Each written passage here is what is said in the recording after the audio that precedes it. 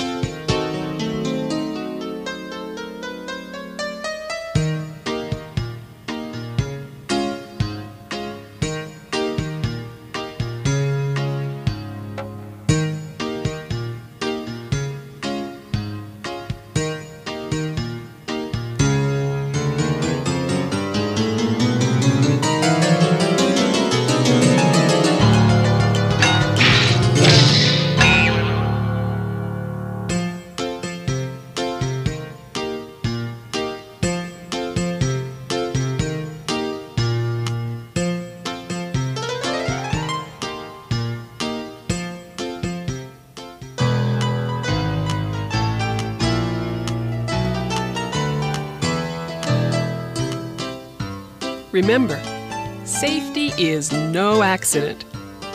Think safety, and we can all live happily ever after.